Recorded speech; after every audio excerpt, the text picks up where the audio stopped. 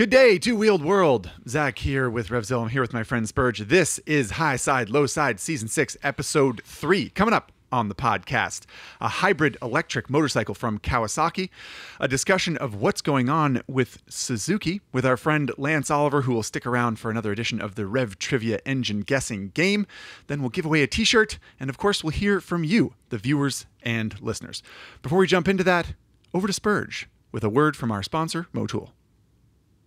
For those of you that are avid listeners of the podcast, you know that I have a reputation of being a bit of a fanboy for the KTM product. However, I think the KTM product, especially in their dirt bike line, has gotten a bit of a bad reputation as being maintenance intensive. I mean, all you have to do is change the oil once in a while, and the bike is good to go.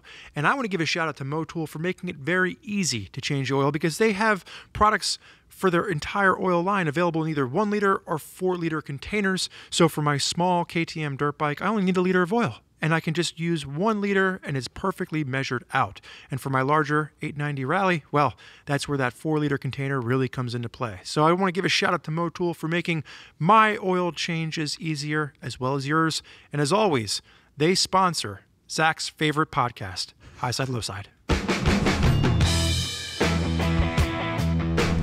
Okie dokie, everybody. You heard it here first. It's Spurgeon doesn't care what kind of KTM you have, as long as you put Motul oil in it. We'll be happy here at High Side, Low Side. Is that right, Spurge? It pretty much sums up my uh, my emotions across the board. Right. Um, okie doke. Welcome, everyone. Um, you may know, if you've listened to High Side, Low Side for any uh, period of time, which we hope you have, that we're often cynical about emerging technologies such as uh, electric motorcycles, hybrid motorcycles. They often come from manufacturers we've never heard of, right? There's often these startups where you know it's like glass cake and this glass cake is the new firm from Bosnia and they have a new electric motorcycle and you're like neato and then you never see it and it doesn't happen it's called vaporware I'm told anyway the point is what Spurgeon and I've been saying for a while is can we get a legitimate manufacturer to make uh you know to to to to put some effort into these emerging technologies. we've we've heard about uh, potential um, swappable battery partnerships uh, with the with the was the Japanese Big Four? Is that right, Spurge, or like some European firms? Maybe Came, it's coming out of it's coming out of the the scooter segment in right, in, right. Uh, Asia. Right. Anywho, uh, we have exciting news because at uh, Suzuka this summer, Kawasaki actually showed uh, an electric motorcycle and a hybrid motorcycle, which I think isn't exciting so much as the technology exists because we already know about the technology existing. Glasscake over in Bosnia did it, um, but uh, but we haven't seen it in action with a real manufacturer badge on the side. And and this is Kawasaki actually showing an electric motorcycle and a hybrid motorcycle, which I find very exciting.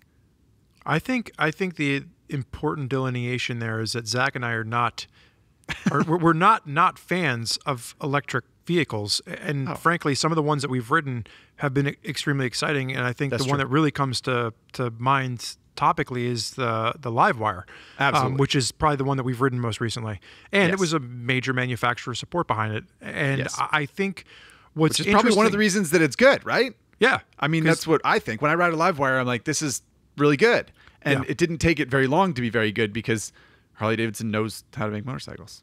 But I think you know where we get frustrated is is some of the the fly by night you know schemes that sometimes plague or uh, prey on certain people that are willing to you know put down payments or deposits. But anyway, uh, what what I want to talk about very uh, briefly around the the story with Suzuki or with uh, Kawasaki is the fact that one of the main issues with electric vehicles as it pertains to motorcycles is range, right? I think that's the number one concern that always comes up in the conversation because unlike automobiles which have larger mass and can support and hide larger batteries, motorcycles are inherently smaller and they need to keep weight down, they need to be manageable. So putting a giant honking extra battery on a motorcycle really isn't feasible. So when Kawasaki introduced a hybrid motorcycle design, which is EV and uh, fuel uh, fossil fuel technology, something like that really speaks to me as at least the first step in Right. making this technology usable, especially when we're talking about the American market. Because, you know, I understand that for a lot of the Asian communities where it might just be a commuting vehicle, you might only be going 15 or 20 miles each day. You know, in America, typically the number one complaint is like, if I buy this motorcycle, I'm limited to only being able to ride it around town. I can't go touring. And I think a, a hybrid would be a great solution for that. Yeah. So uh, there is an article over at Common Tread at RevZilla.com for you to read. There's a video you can watch of these bikes in action. The thing that I think is most intriguing about it, well, two things. One, uh, you can when when you watch this one video, you can hear the this one motorcycle accelerate down the the straightaway at Suzuka, and it, you hear it sort of accelerate as an electric bike, right? You hear that sort of electric whine that you get from an electric bike, and then as it starts, it's going maybe 25, 30, 40 miles an hour. You hear the gas engine kick on and start. You know, you hear like a little 300 or 400 cc parallel twin jump to life and start powering the bike as well. If you've driven a or seen a Toyota Prius anytime in the last 15 years, which chances are you have, um, it's the same idea. It it it um, it pushes itself with electric, and then the, the engine kicks on um, when necessary, which is pretty cool. And the way that Kawasaki has presented this uh, is sort of um, you know you you ride down the freeway and you use the gas engine because that's kind of what you need. You get into the city, it uses the battery and it doesn't use any gas. Uh, and then if you want to ride twisty roads, it'll use a combination of both the electric motor and the the gas engine. So I, I don't know. I think it, I think it's cool. I I uh, I think that like Spurge said, it's um it's sort of it's encouraging, if nothing else. I think it'll be really interesting to see the transition between the two, between the the motor to the engine, the electronic motor over to the the gasoline engine, because you know I think about those early steps that Honda made with introducing VTEC, which worked really great in an automobile, um, but there were some Right. there were some hiccups when it got into the motorcycle technology. So I, I'm excited to see what what Kawasaki has in store. Um, as we wrap up the not the news segment for today, Zack. Can you give the 60 second synopsis for our listeners who might not know what Suzuka is? And I think this is part of the education that we always try to bring to our high side, low side listeners. What and where is Suzuka, Zack? well, kids, Suzuka is a cathedral of global motorsport, really. Formula One, MotoGP, um, World Superbike, maybe. I don't know. We've already gotten to the end of my knowledge. The point is, it's a very famous uh, racing circuit in Japan. It was built as a test circuit by Mr. Honda himself. Well, Honda. Um, and that's one of the things that I think is so cool about Suzuka is that it's a figure eight format, right? The track crosses over itself, so it has almost the equal number of rights as it does lefts. And it was because it was built as a test circuit, it very intentionally has, um, you know, long curves and short curves and uh, back and forth and you know shallow curves and hairpins and uh, yeah, redfish, bluefish, so on and so forth. So it's a long straightaway. It's got it's got all the things that you need uh, to test a vehicle to make sure that it handles well, which I think makes it such an interesting uh, racing circuit. Of course, MotoGP doesn't go there anymore after uh, a, a nasty fatal accident in 2000 something something um, when Daijiro Kato lost his life at the Japanese GP. So it's arguably not quite safe enough for World Championship motorcycle racing, but they still do the Suzuka eight-hour endurance race uh, every summer, which often includes World Championship level riders uh, racing the Suzuka eight hour, which is a famous, famous race in Japan and around the world at this point. Um, so I think that's where these bikes were debuted was during that week or weekend of the Suzuka eight hour. Uh, so yeah, the quick, quick little There we go. synopsis. And and what I, what I, what I want to hopefully do is for our, our YouTube viewing audience, uh, we'll see if we can get our producer Chase to pull uh, a map of the racetrack up and, and put it on the Mm. screen so you can see it. Because it's not, you know, when Zack says figure eight, it's not a traditional just an eight shape. It's a figure eight, but within true. the within the eights, there's a lot of different technical terrain uh, or, it's, or, it's or a course figure to eight. navigate. It's a figure eight, uh, uh, sort of like loosely, but there are whatever, 15 or 18 turns or something like that. Yeah, it's a cool. really It's it's, a really interesting track, and I think you know as we think about you know uh, these Kawasaki's, it's important to note exactly what we're talking about and how they were tested, and especially considering this was most likely an endurance test, right? This was not just going out and doing one or two laps; they were you know putting through their paces. Uh, well, not necessarily. Well, we don't know that from seeing the video or anything. I don't think they like they didn't race in the I'm making a hypothesis. Suzuki, just to be clear. it was more of a demonstration at the track, and uh, and I don't think that we we you know I assume that that some testing is going on, but I would assume that that's happening at the uh, well, I'm blanking on it, the name of the Kawasaki test track. Don't let me down.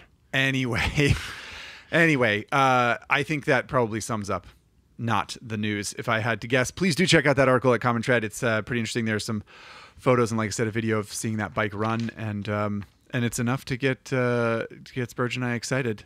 And I hope I didn't offend any of the uh, Bosnians about their glass cake project. I think they should keep it up. Yeah. So for all of you out there that want turbochargers in your motorcycle, you're not going to get that from us, but you might just get some excitement around a hybrid. I know that every See what I did there? says- I pulled it back to a few seasons ago when we Yeah, got into debates that, yeah. about turbos. I think if anyone, if every motorcyclist has always said, if I could just have a Toyota Prius of motorcycles, I would love that. All right, right, let's go let- ahead and kick things off. We need to get Lance Oliver on the uh, on the podcast, and we have got an excellent show in store for you today. there he is, everybody, the Silver Fox himself, Lance Oliver. Welcome, Lance. Thanks for joining us. Thank you. My pleasure. Uh, so we were very tempted, Lance and I, just so you guys know, to talk about uh, MotoGP the whole time because that's where this story came from. The story came from a sort of news item that you may remember from earlier in the summer um, about Moto about Suzuki leaving the MotoGP World Championship, as well as pulling out of the Endurance World Championship. Um, at the end of the 2022 season. And it's sort of a surprising thing to do on the face of it. Lance wrote an article about, uh, I think, what was it? The title was Winning's Not Enough. Is that right, Lance? Yes. Right, right. So, good memory. so, uh, so Suzuki won the 2020 MotoGP Riders Championship with Joan Mir. Uh, an impressive feat, no doubt. And yet, the, the company's leaving the championship and leaving other world championship racing. And it made us realize that there's that there's lots to talk about here. You know, why would a company that has had success in such a uh, a large global sport be leaving? And what does it mean about the business model? What where are they trying to make money, Suzuki, and where does the company see itself going? And of course, where do we speculate the company will go? So that's what this uh, episode is about. And I guess um, to sort of start it off, Lance, can you give us a kind of a synopsis of why you feel uh, Suzuki is leaving MotoGP and what what uh, what the company has said and what we know about it so far? Bef- for those for those of you listening on the podcast, I'm I'm formally raising my hand. Before I let Lance jump in with that, I want to back up and for those of you that are listening to the podcast for the first time, or maybe season six is your first season with us, I want you to know who Lance Silver Fox Oliver is. Lance is the managing editor of our online magazine, Common Tread. Lance has been a guest in the podcast numerous times, and he is a fan favorite. Hopefully, he will be a fan favorite for all of you listening today as well. And more importantly, Lance has written about 28 articles on Suzuki in the past, you know, month. So 27 he is he is our resident expert on all things Suzuki at the moment. So those are the credentials uh, which are put before you, the listening audience, to now trust what he's about to say in response to Zach's question. So so Lance, make sure you say something really intelligent here. Yeah, well, the pressure's on now. But as usual, you have to discount everything Spurgeon says by about 25% to get rid Sure. of the, the uh, Spurgeon hyperbole factor, which always must be considered. So Fair enough. Yeah. Uh, but but anyway, yeah. To to talk about why Suzuki left MotoGP, I mean, uh, I don't have any moles inside the Suzuki board of directors uh, meeting room or or any particular great uh, secrets to, to share. But I think it's it's a couple things. It's first of all, it's a it's a calculus of how much it costs to go to MotoGP racing and and what it's worth. And then the second part of it is that we've seen uh, sort of a general retrenching uh, by Suzuki in racing, uh, not just in pulling out of MotoGP and World Endurance, but uh, they currently don't have a presence in World Superbike. Um, they scaled back their efforts here in the United States in AMA Superbike, now run by Moto America. You know, Ari recently raced a, a Yoshimura Yamaha, and just saying Yoshimura Yamaha is something that I'm sure Zack and, and those of us who follow racing, it just it just sounds so wrong because Yoshimura Suzuki was for so many years the, the most coveted seat in domestic superbike racing, and it was the most uh, successful team, and all right. of Mat Mladin's championships, and right, Ben right. Spies, and right up to Toni Elias in the in the Moto America era. Uh, but uh, Suzuki basically dropped that relationship and went to uh, Team Hammer a few years ago because, again, I there's no explanation for it except they're trying to reduce expenses. Right. And the most expensive thing of all is MotoGP. So if you're really trying to say maybe what we're spending on MotoGP is too much for what we're getting for it in terms of exposure and brand advertising and that stuff, that's the obvious place to cut. Can I ask a question for you and for Zach? Um, and, and, I think for the listening audience, um, I'm probably going to come out the first portion of this episode a little bit more like uh, the everyman. I am the person that uh, might follow a MotoGP race or two throughout the season, but I'm not nearly as versed as Zack and Lance. So I'm going to try and ask questions to help uh, the the every man or woman in the audience listening to have a bit of education behind this as well. So we're talking about the expense of MotoGP. Off the top of your heads, roughly what does it cost on an annual basis to put together a MotoGP team? Oh, I, I looked this up, but I don't remember the number. I didn't write it down. Do you do you do you remember, Lance? I I couldn't tell you off the top of my head. Um, but you know, it's it's obviously far more expensive than any other, you know, any other form of racing, and it's not. Are we talking uh, tens of thousands of dollars, hundreds of thousands of dollars, millions of dollars? I was going to say ten million. That was that was what um, annually. Uh, oh, yeah, for oh, two uh, for two oh, riders. Oh yeah. yeah. Oh wow. Yeah, okay. for sure. I mean, and I mean, you know, there's it's, it's, R and D costs. It's yeah, it's it's it's a, it's. I'm sure it's the money's hard to count. I'm sure from the from the standpoint of the manufacturer, the standpoint of anyone. And they but, don't um, want to tell you how much it costs either. Interesting. Right. Well, I think I think Zack, you know, that's an important note. So for for those of you listening, um, you know, Zack mentioned R and D cost. R and D is research and design. And when we're talking about Moto America, uh, I'm sorry, when we're talking about MotoGP, these are the premier motorcycles. These motorcycles are specifically built for a, a, a, one use purpose, right? And that is going fast and winning at MotoGP. And you know the technology that goes into them might trickle down, but primarily that's that's really proprietary technology for the most part. Is that not correct? Yeah, yeah, yeah. The the the reason that research and development costs are so heavy is that they are uh, prototype bikes, right? Sort of, it's the Formula One of motorcycle racing. If you're if you're not familiar, and uh, and the when they make parts for these bikes, they don't make them on an assembly line; they make them in a lab. Yeah, um, and so it's uh, and it's very very difficult to keep up with the with the cutting edge because the state of the art is so advanced. I think the other thing that's helpful in, in maybe in, in, in understanding this, you know, at, at, that level, racing is advertising, and there's two forms of advertising out there. Basically, just to boil it down, you've got the the kind of advertising that says this toothpaste will make your teeth 20% whiter, so buy it instead of the other one. And then you've got the kind of advertising that is about burnishing the brand, making making people want to identify with a certain brand, maybe feel a little more cooler if they buy this product versus the other. And MotoGP racing is clearly in that latter latter category.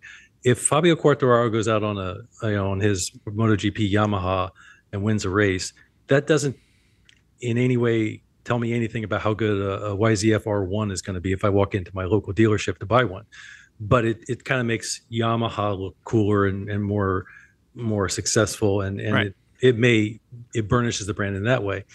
And the problem with that is you can't quantify that. So it's it's it, you can't say how much the dollars or yen value you got out of that. So the board of directors sitting over there and in Japan is going to look at the expense and they're going to say, is it is it really worth it? And you know, it's it's very arguable. It's very subjective, and it, it's it's it's hard to pin down. I mean, the old saying is sell or win on Sunday and sell on Monday, and I tend to subscribe to the view that uh, our regular commentary contributor Mark Gardiner used to say all the time, which it's really more about sell on Tuesday through Saturday so you can go racing on Sunday because motorcycle people want to go racing and have fun and they just right. pretend that it's really good marketing.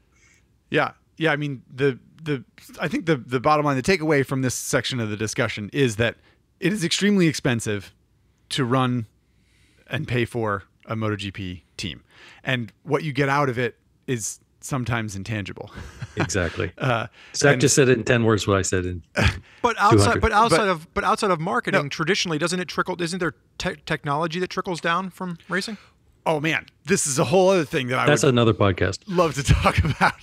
No, I think that that is that that that uh, that's a piece of it that I find interesting. Try to remember to bring that back up, Spurge, when we talk about uh, Suzuki model generations and that kind of thing. Right? You're writing it down? He's got his pen. Everybody. For those of you it down. listening, I'm I'm making a note. because yeah, the evolution or the the the, the quote unquote trickle down technology from MotoGP to bikes that we the people can buy is something that I think is very interesting and um, maybe not as evident in Suzuki as as in other um, manufacturers, and I think that that's something worth talking about.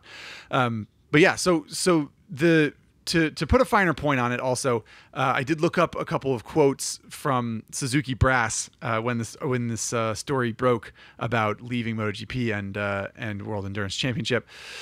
Um, and this is a, this is a little pull quote here, or or a little a paraphrase, sort of. The current economic situation is forcing Suzuki to drastically decrease racing-related costs. The need to concentrate its effort on the big changes that the automotive world is facing, and use all its economical and human resources in developing new technologies. So we'll we'll come back to that, but it seems pretty clear that that Suzuki has decided we're going to take the millions of dollars we spend on MotoGP, and we are going to re. That's what they're saying anyway. We're going to reallocate them to other things within the company. What those other things are, we'll we'll, we'll talk about that. But- yeah, I'm interested to revisit that statement because I, I have some some stuff that I, I pulled and did some research on a little bit. But uh, b- before we move on from MotoGP and get into you know some of the changes that we're seeing with the the Gixxer 750, um, so if I'm correct, when did Suzuki?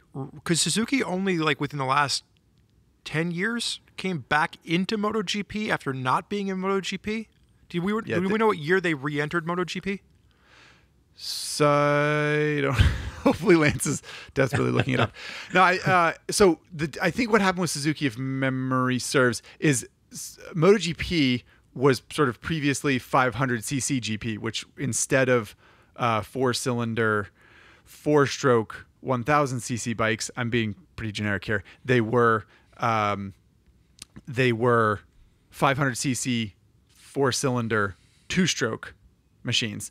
And in that era, uh, the the end, the la- the final decade of that era, which was essentially the 90s um, into the into the first couple years of the 2000s, um, Suzuki was uh, was prominent and they won a couple world championships in that time period. And when the switch happened to uh, four strokes, that it they, they they wobbled a little bit. Is that how you remember it, Lance? I yeah. don't think- So Suzuki's last rider championship in, in that was in 2000 with Kenny Roberts Jr. right. And then uh, the switch to four strokes came, and Suzuki went away for a while, and, and Yep. then they came back, and I don't remember the exact years. So Maybe was 07, maybe something I like think that. it was. Somewhere I think, there, it was but- I think it was 2011, based on your article. that sounds Lance. right. Yeah, that Yeah. sounds right. So Okay. we had that gap there where they were gone for several years, and so there was an exact 20 year gap between Kenny Roberts Jr. and Joan Mir winning the the riders championships.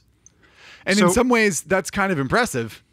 That that that Yeah. that Suzuki came back and and that they can go away and come back and still still Yeah. win and be and they won. They yeah. won some. Uh, Suzuki won some races in there in the in, in the interim. Uh, Chris Vermeulen won in France, Sure. and at some point, I, if memory serves. Uh, so it's been not meteoric because everyone kind of assumes that Suzuki's good at racing, but. I, maybe I'm not sure where you're going with this exactly, Spurge, but it was sort of a you know Suzuki left and then came back to your point and and didn't just come back and and kind of like uh, uh, flop around uh, Right. you know, suffocating. They it, it succeeded as a Yeah. as a as a as a racing company. They didn't leave MotoGP because they sucked at it. They left for other reasons. So Right. they they were they were successful by any by any measurement. Well, so the, my, my my point here was getting back to what the quote was that you read, right? It sounds like they're they're pulling out of uh, MotoGP, and the the kind of reason that they gave was the current economic global climate, and to refocus their efforts in other maybe emerging technologies and or the automotive world. My point in, in raising this was, and this gets kind of you know it speaks to the theme of this episode. This this theme of this episode, folks uh, listening, if you haven't already gathered, is going to be a bit wide reaching, right? And in 2012, uh, one year after the Suzuki brand re-entered MotoGP, they pulled cars out of America. And if I had to guess which was a more lucrative investment for them, you know, selling cars in America or racing MotoGP, I would have guessed that selling cars in America was more lucrative. Um, and now it seems like almost like they're coming back around and they're saying we're going to refocus our efforts on the automotive side of things and the emerging technology side of things versus, you know, motorcycle racing.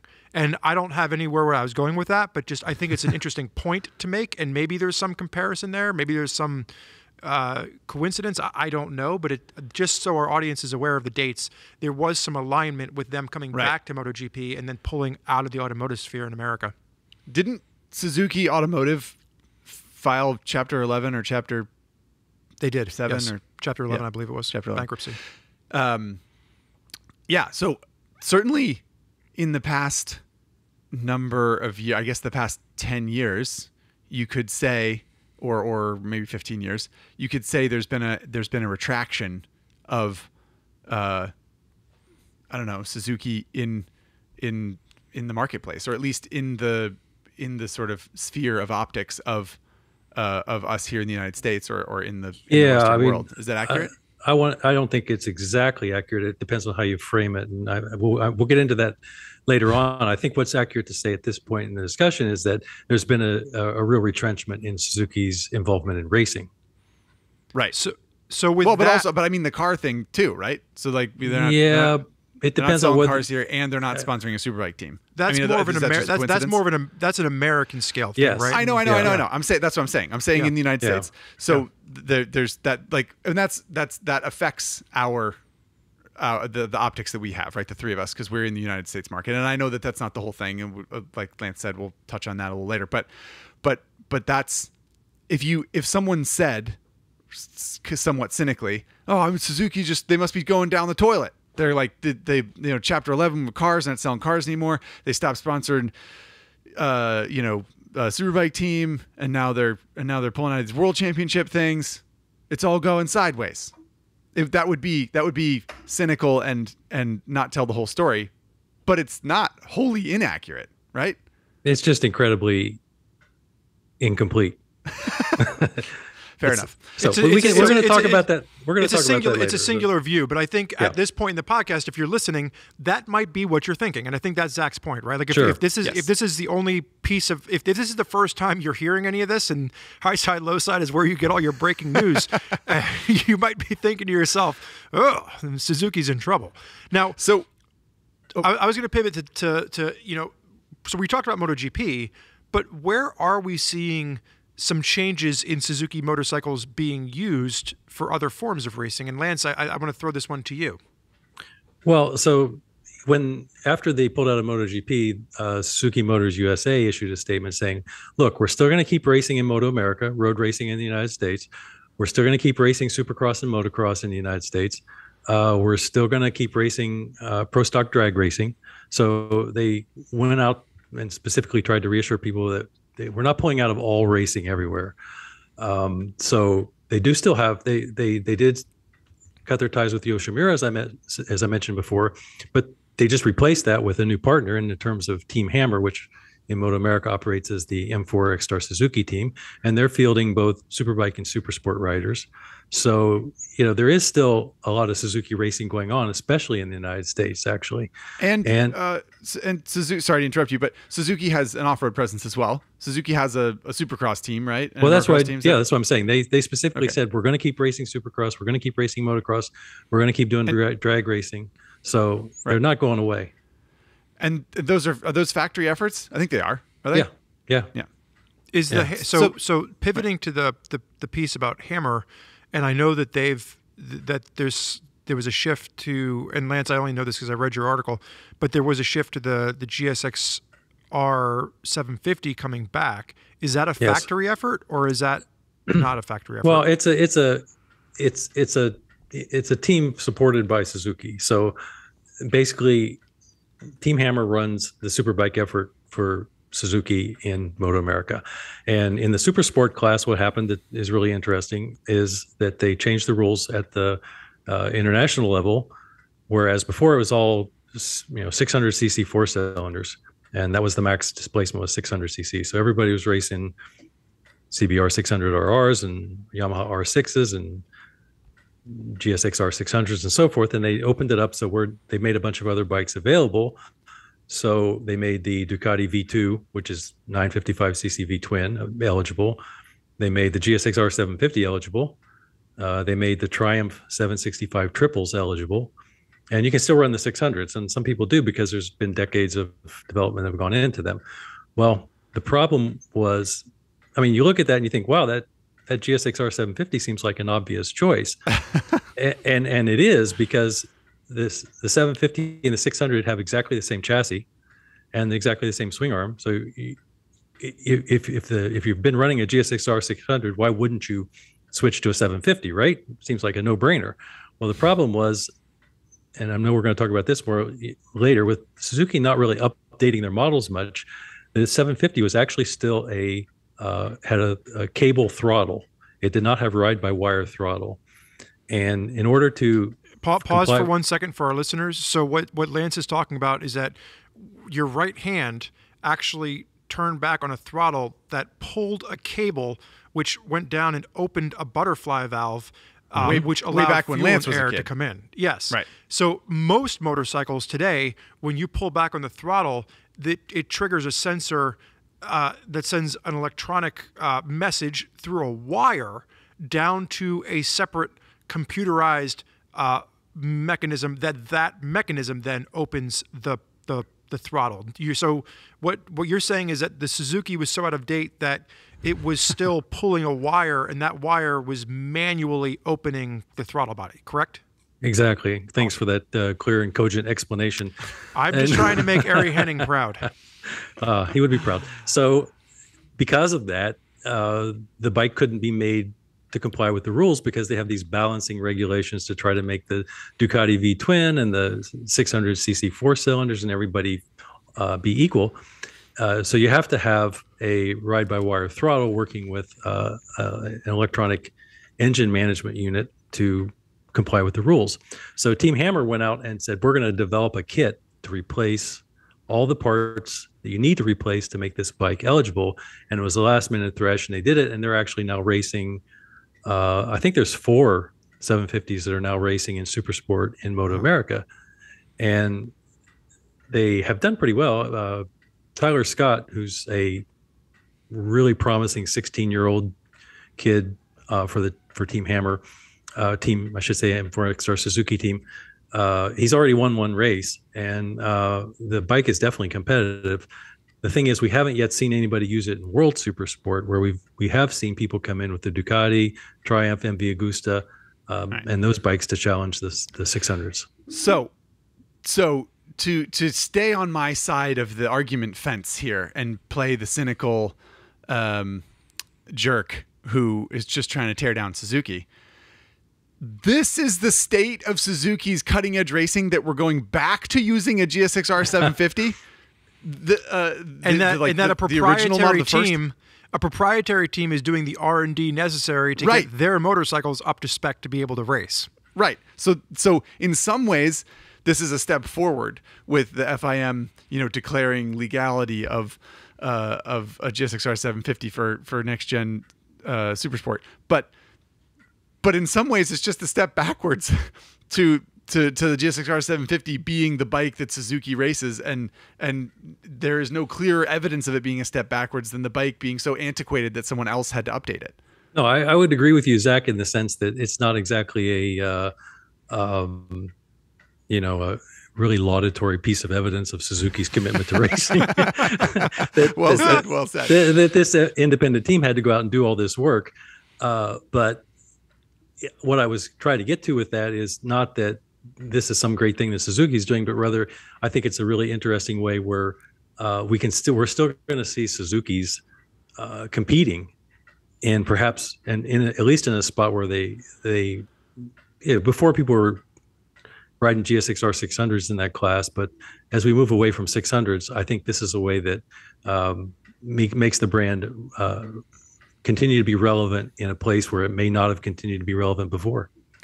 So uh, quick question before I don't know if this is a this is a weird way to segue, but I think we're we're just about ready to take a break. If, if correct me if I'm wrong, Spurge.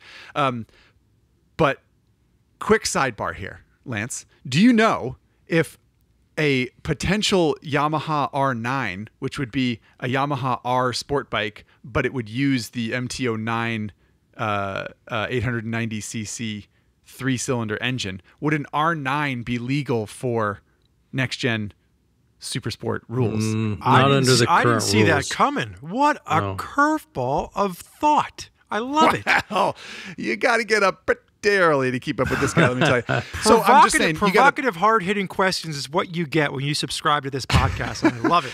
so you got you got uh, you got a 955cc Ducati V twin.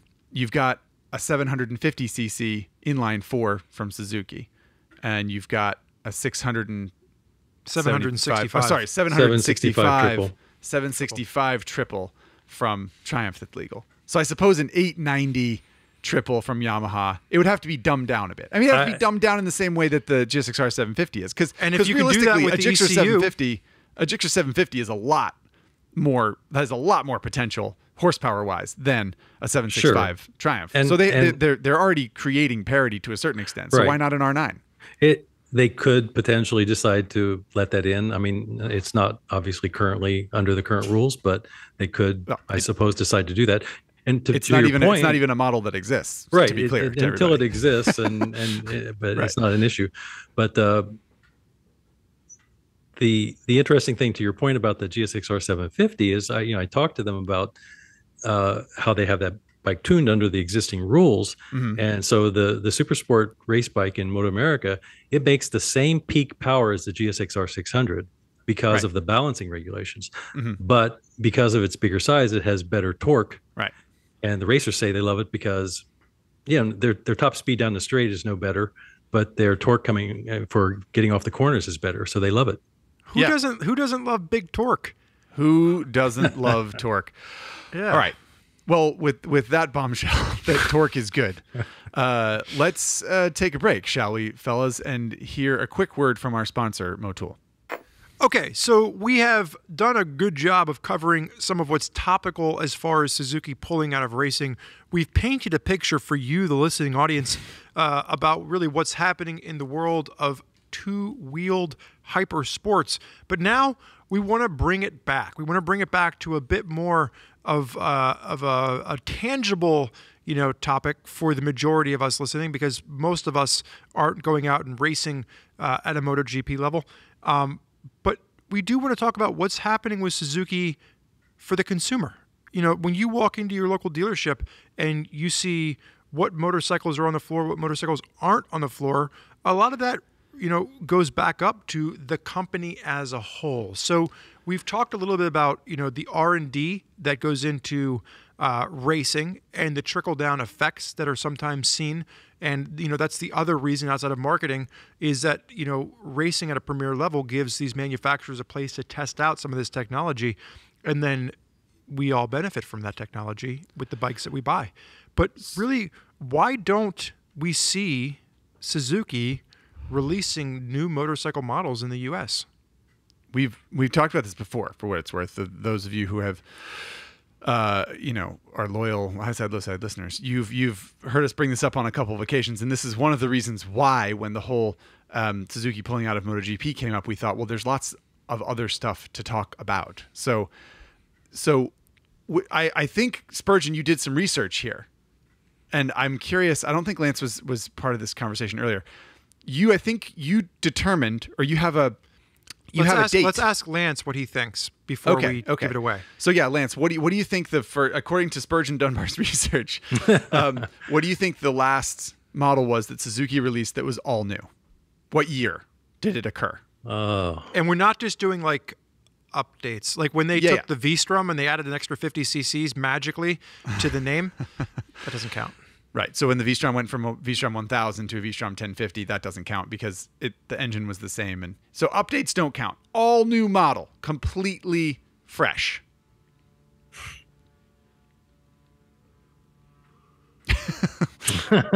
i think you've stumped me Oh, but well, well, if you go back far enough, you can you can you can think of some, right? I a guess. Uh, uh, well, yeah. Yeah. have to go back. You actually don't have far. a guess. Yeah, you I- have to go back I- pretty far. I- so go, I- keep going. Go back as. Go go back too far. Let's start there. What's the what's what's a what's a brand new, fresh, uh, clean sheet design Suzuki that you remember coming out at any point during your life?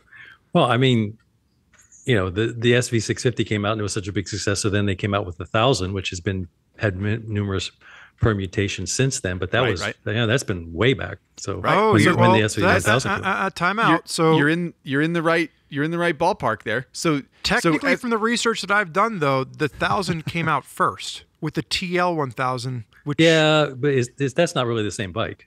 the TL 1000 is their 90 degree V twin Yeah. engine, which was which was the foundation for what became the larger V Strom engine. Yeah, but it- this is it's not a new bike if it has the same engine but a totally different everything else. So I'll give No, you no. the S, I'll give you the SV650, but my point is, is the SV650 came out came out 99? 99 and then the TL1000 came out in uh, 98. And for And those then- of you listening, the TL1000 is a Suzuki sport bike that they manufactured with a uh, a, a 90 degree V twin engine and Lance is referring to the SV650 which is a small Well- naked sport bike. I Uh, was actually referring to the V-Strom 1000, which came out after the the the 650. Okay. Okay. Right, you're you're talking about the V Strom 1000. Yeah. I think Spurge is right though because the TL 1000 there was a TL 1000S and there was a TL 1000R, and and that engine is still, as far as I know, what's in the V Strom 1050. which is Not- what Suzuki's not known literally for. the no, same but, engine, but, but it's- that's what Suzuki's known for, right? And that's what we're trying to get to the bottom of. Like the Suzuki V-Strom 1000 was not an all-new model. They took an existing engine and they built a bike around it. So so full clean sheet design, right? I mean, to be fair to Suzuki, this doesn't happen all the time. This doesn't happen all the time. This is this is uh you know, somewhat rare, right? That that that a bike is really truly all new. Like, you know, Yamaha came out with the MT09. That was a or I guess it was, it was the FZ09 at the at the time and now now MT09. But that was a an all new bike, right? We can agree on that. It was it was it was Yeah. totally new. Sure. Um, but often, you know, uh, brands often do this. You know, uh, Ducati will come out with a new, uh, you know, monster, a new hypermotard, but it's the engine that they use in the other thing. Or you know, the Ducati Supersport came out, and that was the first time a Supersport had come out in a long time. But really, the the Supersport engine was the same engine they had used in the Hyper and the Monster at that point, I think, or maybe I'm, I have it the other way around. The point is, it's not we're, we're not we're not picking on Suzuki you know, because this is completely unheard of. Well, I It's wanna hear- just- It's the the timeline is is pretty long. Yeah, so I want to hear the result, the fruits of Spurgeon's research here. Well, you might have shot some of it out of the water. I don't know. No, no. So from what I from what I've been able to do the research on the so the Suzuki V-Strom was actually one that I was thinking of. The the V-Strom 1000 came first, and it was it came first because it was it utilized the the the 1000 engine. The 650, this, the V-Strom 650 came later, and that took the SV 650 engine. So then I went back and I was like, okay, well the SV 650 obviously uh, was out before those bikes. So the SV 650 was introduced. Uh, the first gen came out in '99, and the TL 1000 came out in '98. So I was like, bingo, there we go. It's got to be the TL 1000. However, the yeah, that would be it. Not, yeah, because the No, I- yeah, when no. did the the Gixxer 1000, I was wrong. The Gixxer 1000 was 2001 when it replaced the Gixxer 1100.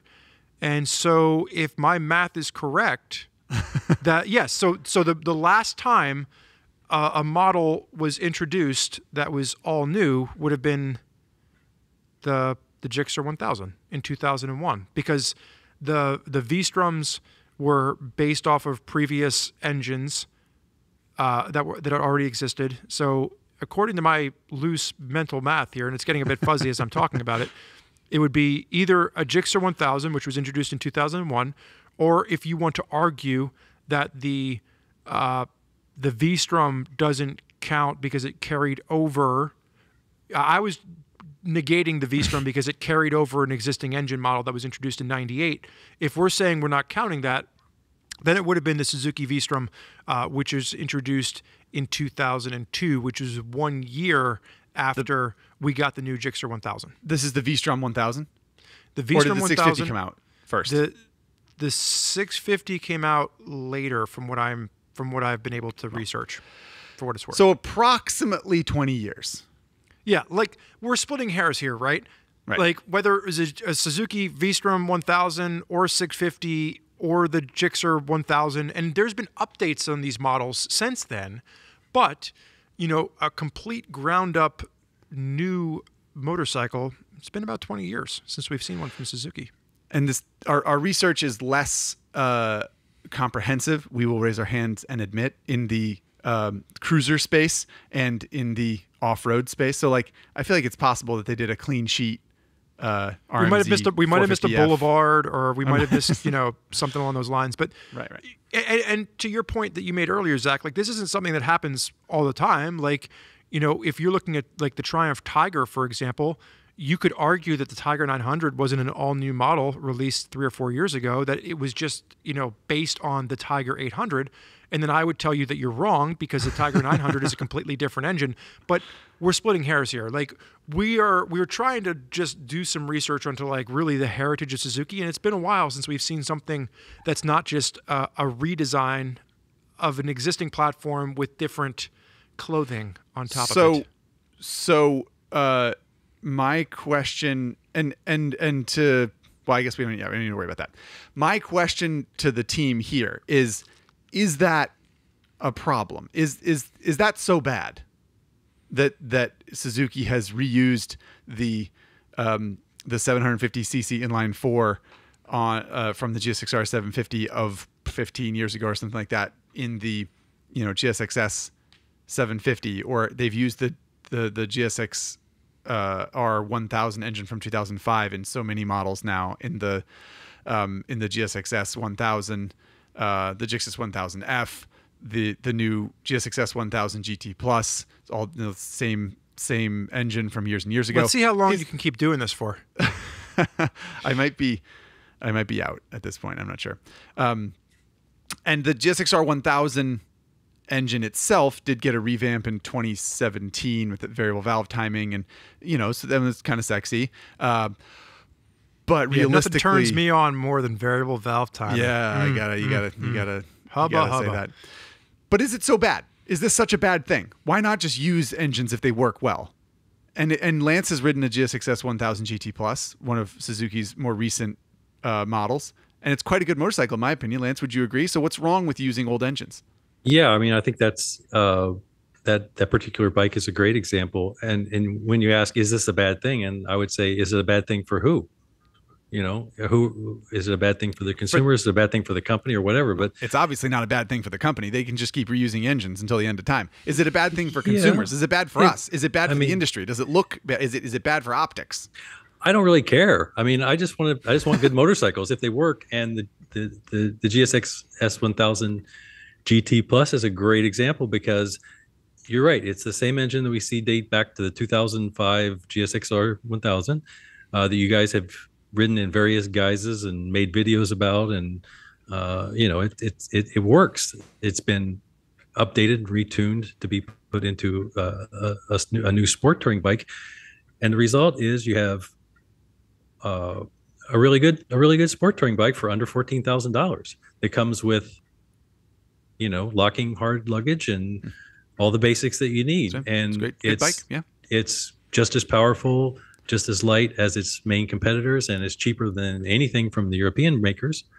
Mhm. And So- so, I'm sounds gonna- good to me.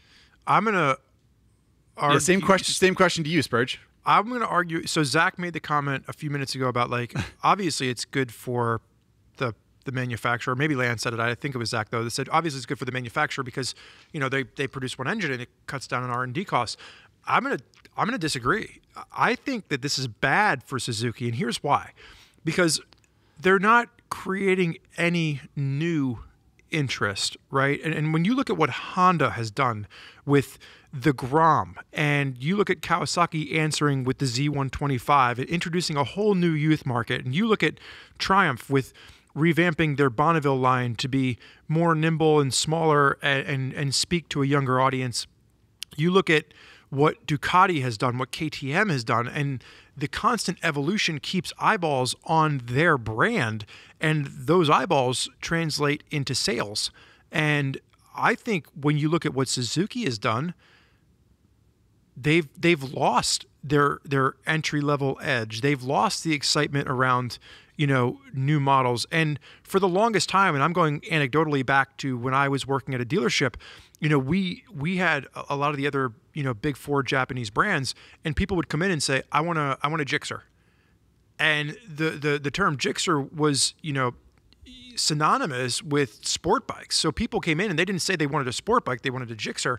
And as you've seen the fall off of sales from the sports segment, Suzuki's not coming back with anything new or exciting or interesting to to be competitive in that place. And then and then you look at the expansion of the adventure market and you look at the innovation of bikes introduced in the past 10 years, whether that's an Africa Twin or a Tenere 700 or a Tuareg, and that doesn't even touch the surface of getting into the KTM brand, which we'll just put a pause on because I don't want to get too long-winded here. But they're they're not staying competitive with the segments that are more popular right now, and that in turn is not translating to new sales. So I don't think this is a good thing for the brand. Right. Right. And that's that's a little bit of devil's advocacy, but that's also a little bit of how I feel. How about you, so, Zack? Well, so so this is what I wanted to bring up with regard to MotoGP because I think this is interesting. So, quick, very quick. I'll I'll, I'll do my best. Uh, history lesson here. Um, and Lance, you'll have to confirm. I'm pulling this out of my out of my out of the backside of my brain. Let's just put it that way. Um, but in 2003, 2003, 2004. It was January 2004, perhaps December 2003. Yamaha went to the MotoGP test in Sepang, Malaysia, and their bike sounded totally different. They had had an inline four in the in the YZR-M1 up to that point, and at that point, they took out a bike with their new rider Valentino Rossi, and he rode around, and that bike sounded weird. It had a cross-plane crankshaft, inline four, and it sounded all funky. That was uh, Malaysia 2004, I believe. In 2009, Yamaha came out with an R1 that had that crossplane crank. Ben Spies went on to win uh, World Superbike championships. Uh, it evolved into the, the R1. It, it, that's the embodiment of the R1 at this point. Um, and uh, the the Yamaha MotoGP program was super successful with it. The Yamaha World Superbike program was super successful with it, and the the aura of that bike, I think, um, they sold is, a ton of them. They sold a ton of, of them because of they, it. because they they sound great and they work well. In 2014, I just looked this up, so so bear with me. We can put a little correction on the screen if I'm totally wrong about this. Um, but in 2014, Suzuki replaced their four-cylinder v, a V4 GSVR uh, MotoGP bike with the GSX RR, which is a crossplane inline four. It's a it's a it's a Suzuki version of the Yamaha crossplane crank. Suzuki is doing. They've followed this path of of engineering, and they won a MotoGP World Championship with the bike. And we don't see any of this trickle down technology in the street market at all. We don't see it in the GSXR 1000. We don't see it in the GSXS 1000 GT Plus, which we agree is a good motorcycle. But would it not be more exciting if that kind of stuff came from MotoGP and made its way into uh, into the street market, into the consumer market? I'm not saying that would unlock some, you know, vast, uh, I don't know, uh, riches of of revenue for Suzuki, but to Spurgeon's point, it would be good for optics, right? And and would it not create exciting bikes? Is that uh, is am, am, I am I being too cynical about Suzuki that they've developed this thing in MotoGP and then now they're going to pull out of MotoGP and they're never going to deliver any of that to the consumer when there's a there's a precedent for that working, pretty obviously. Anybody? Lance, no, I'm, I'm I'm giving the, I'm going to let Lance go.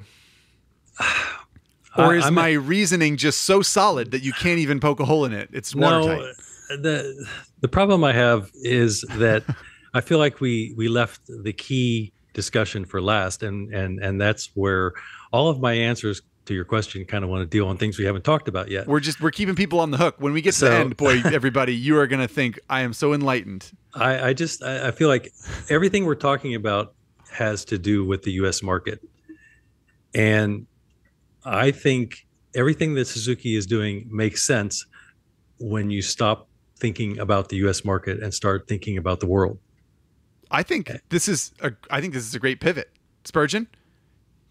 I think Lance, you should take us into the pivot and explain your Well, I statement. didn't, I didn't want to get off track here because I No, know no, that- no, you're not off track at Okay. all. Let's here, I'll I'll take us off track. I'm changing the track. I'm switching the tracks. Does Okay, so- d- what so enough already about how Suzuki is serving me, the middle class American white guy. Well, Good be- point, Lance. How does uh, how does Suzuki's strategy play into the rest of the world, and does Suzuki even need the U.S. market? Well, th- this goes to your question because the if, if you're going to trickle down that particular MotoGP, you know, technology, it's going to go to expensive, fast motorcycles that are sold basically in the United States, Europe, you know, not not the whole world, not the big motorcycle markets of the world.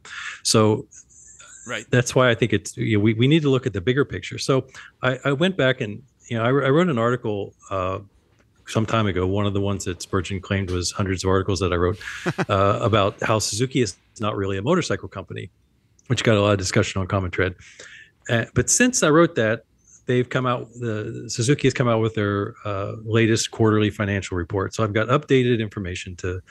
Since I wrote that article, there's uh, newer information to go on. So wait, wait, pause and tell our audience the gist of what that article was. the the art the point of that article was to say in in the United States we naturally think of Suzuki, you know, especially people my age. Oh, they're one of the big four Japanese. They're they're a motorcycle company, and what I found when you start looking beneath the surface is they they sell.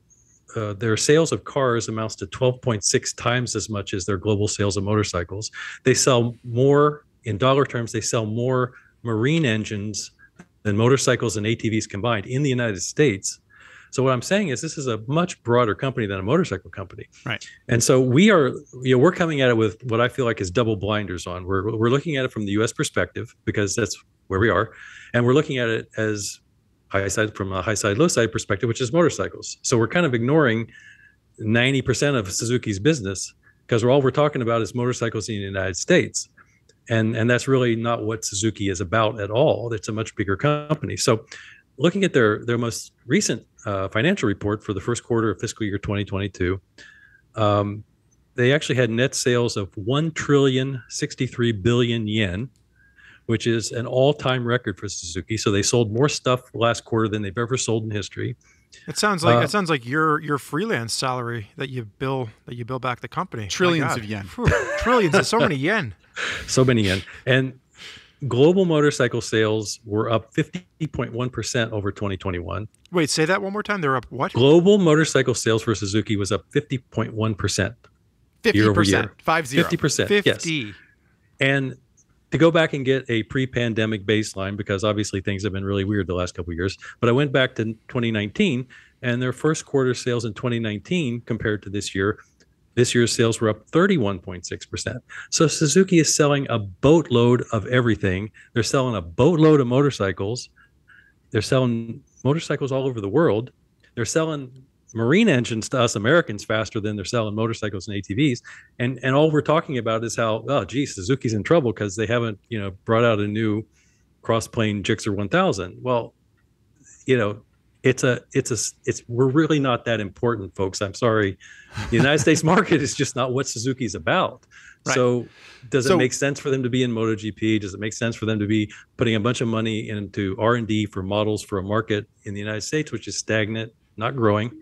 It's expensive to develop new models because they have to be, you know, you- you're not going to win a big chunk of the U.S. market by coming out with a new 125cc scooter, like you can in Indonesia or India or someplace. Right. So you have to spend a lot of money to compete in a stagnant market with tons of. Con- So, I don't think it really makes sense. so here's so here so the the twist of this podcast then is that it's really not about Suzuki. It's about is the American motorcycle market insignificant and should we even exist? Maybe high side needs to go away.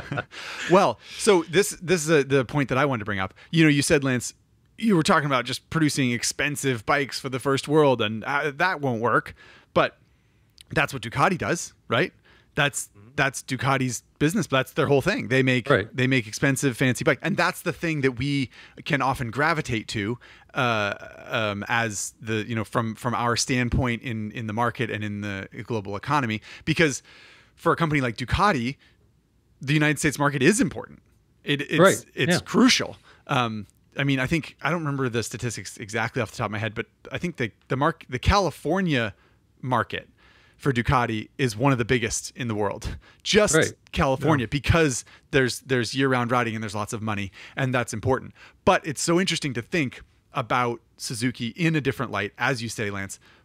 Is this could could Suzuki just be, you know, pivoting away from what we think of it? You know, maybe there's some people that think it will be a, it'll be a complete shame if Suzuki isn't a contender if it isn't even a real thing in the U.S. market in a, in a number of decades.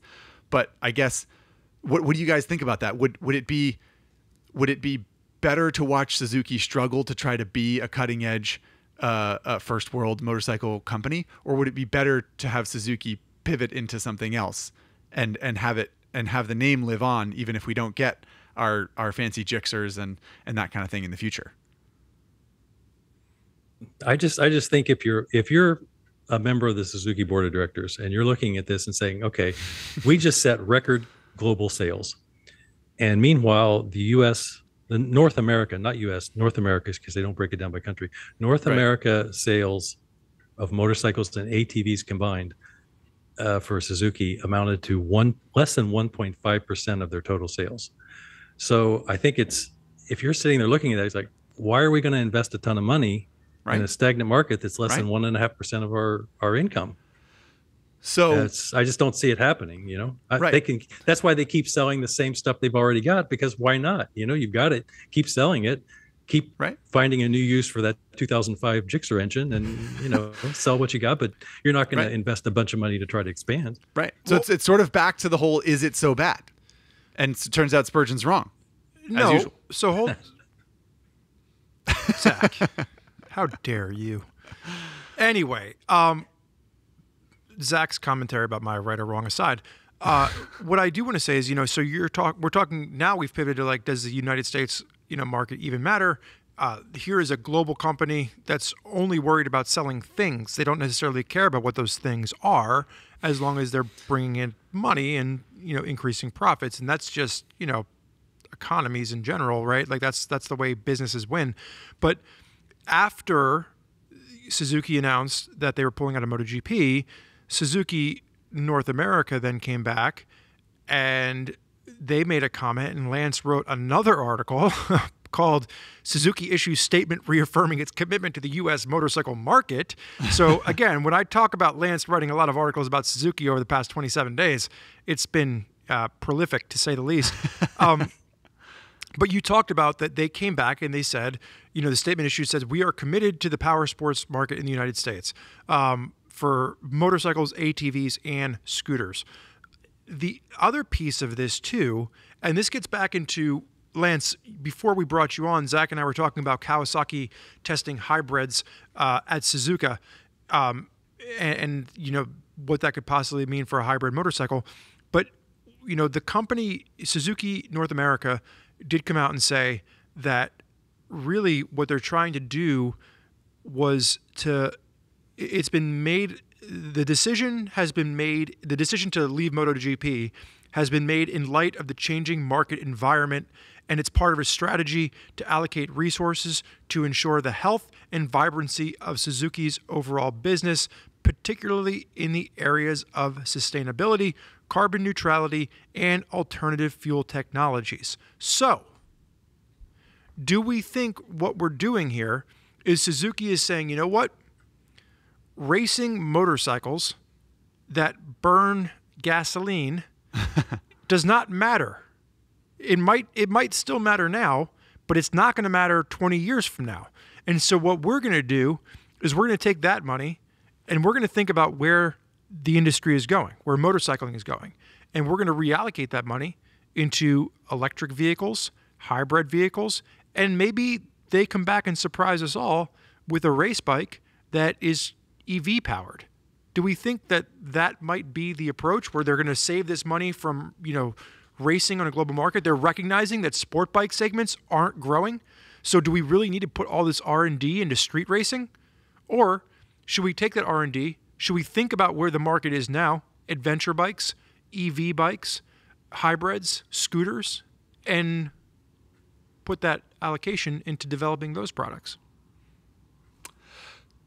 Well, I think it could be that we will look back and think, "Wow, Suzuki is the smartest company we've ever seen." Look at how they pivoted when they needed to. But I would take it a step further, Spurge, um, in this discussion of what's next for Suzuki, which, um, as you said, some of it has to do, some of it is sort of uh, easily um, understandable because there's there are quotes that say, um, you know, we are going to quote redirect technological capabilities um, uh, through racing activities to uh, you know initiatives around sustainability and stuff like that. You can pretty easily read into that and think, okay, I get where they're going with that. I think, you know, to to Lance's point, if you can sell cars, EV or otherwise, in India, why even bother with an adventure bike or an electric race bike at all?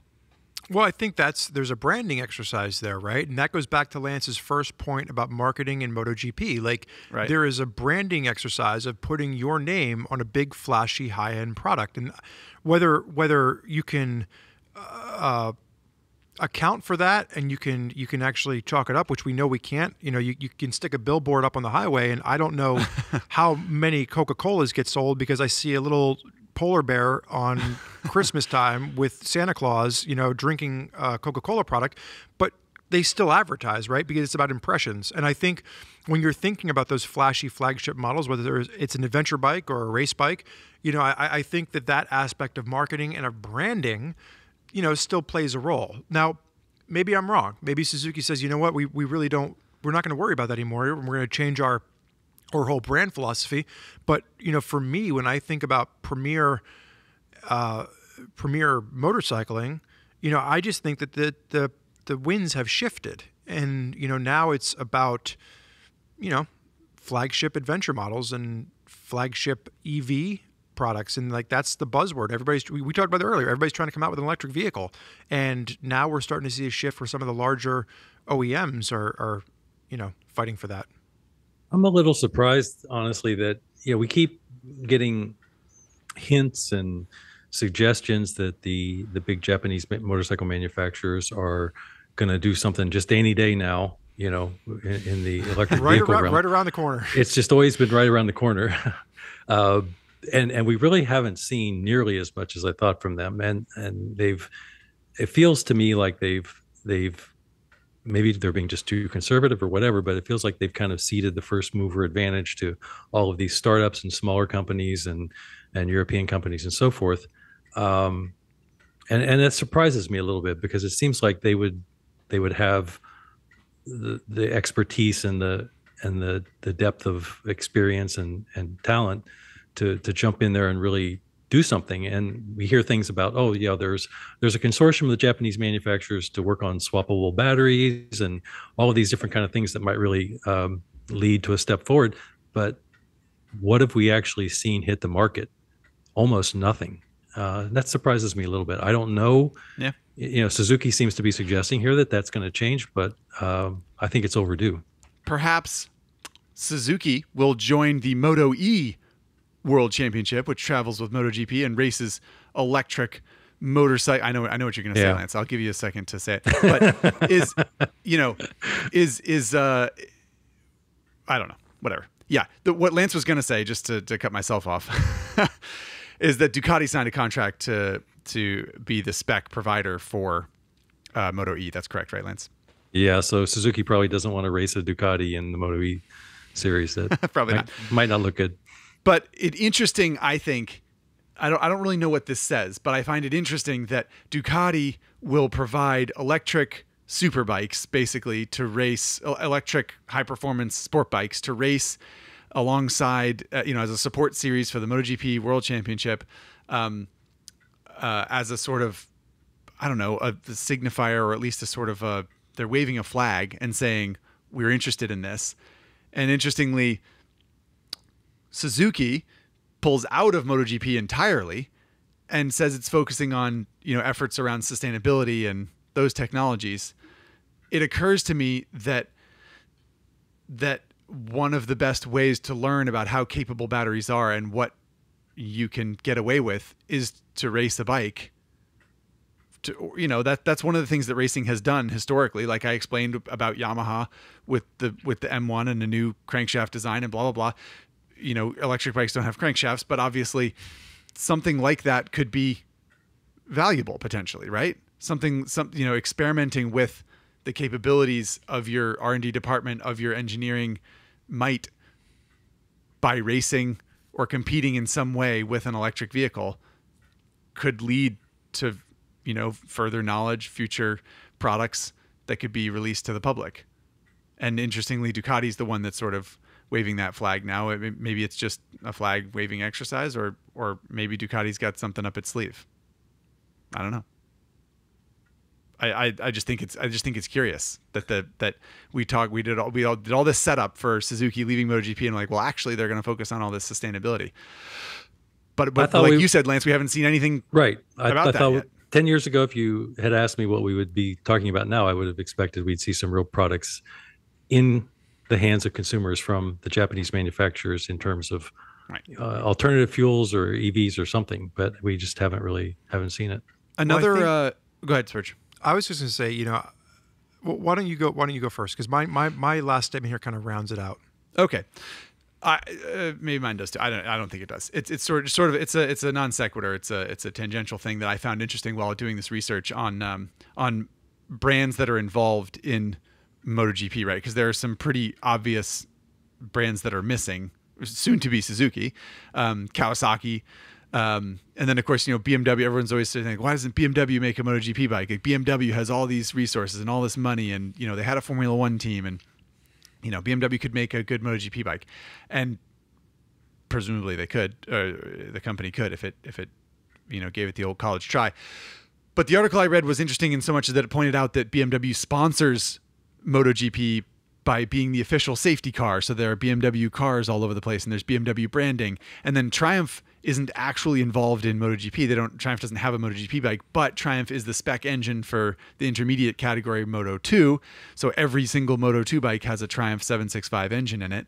Um, and these are uh, I think interesting because it it arguably they are tactics for Triumph and BMW to involve themselves with MotoGP and be present on a world championship stage without spending the millions and millions of dollars that other companies do to try to create a competitive machine. Just a just a note that I well, I mean that, that, that it spe- I think it speaks volumes to the fact that you know MotoGP is still important for the motorcycling audience because Otherwise, yeah. they wouldn't have gone through the effort. I mean, Triumph went through a big effort to get that that motor in there, and yep. you know, BMW obviously spending the branding and having their cars, the pace car, is no small effort on their parts. So yeah, that gets and, back to the branding of and, what we are talking about.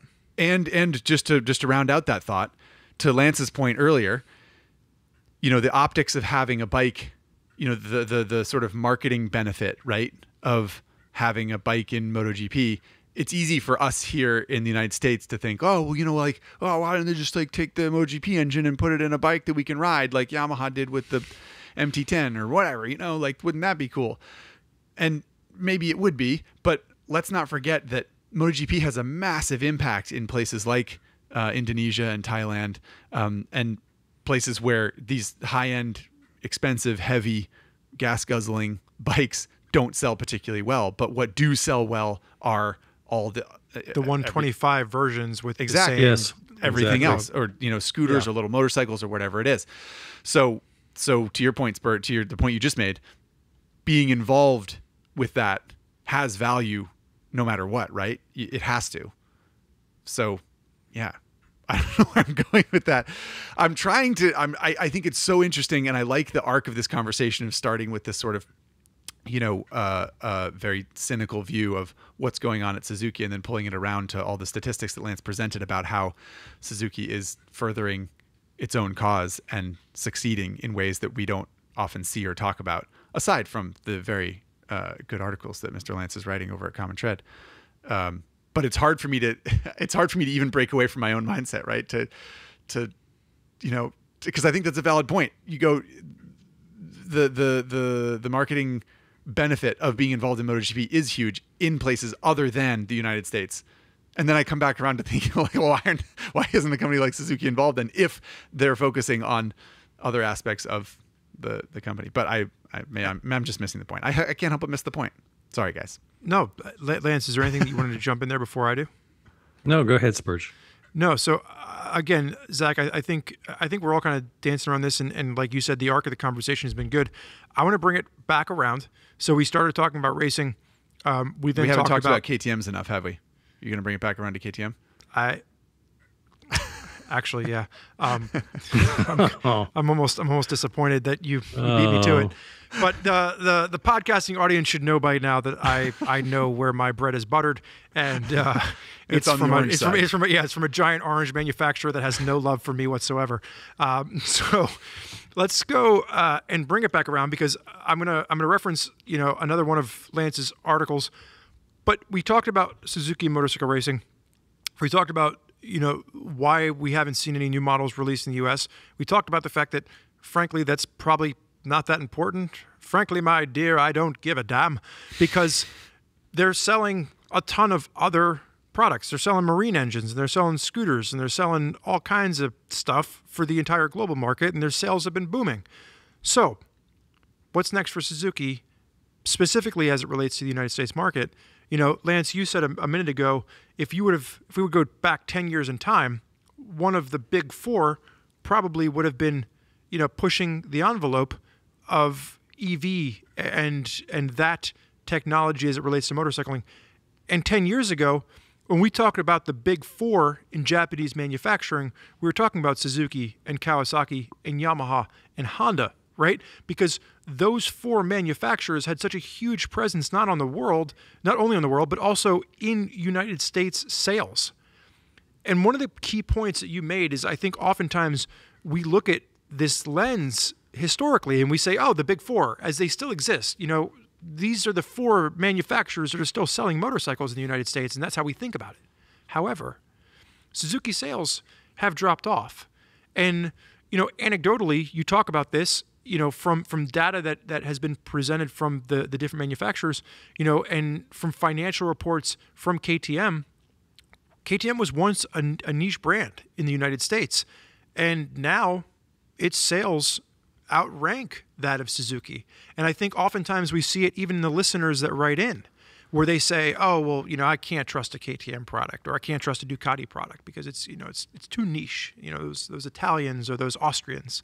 But we now have manufacturers that were once considered niche brands in America outselling the giant that once was one of the big 4 and you yourself Lance said that Suzuki's not one of the big 4 anymore. You know, it's now the big 3 as it relates to the American market per se.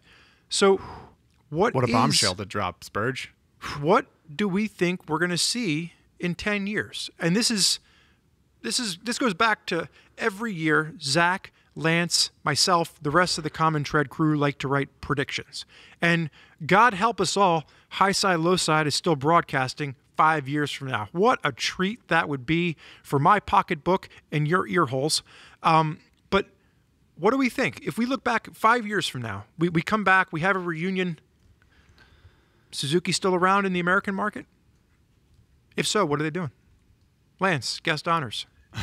Uh, that's uh, some honor. Um, first option, first opportunity to be wrong. Uh, wonderful.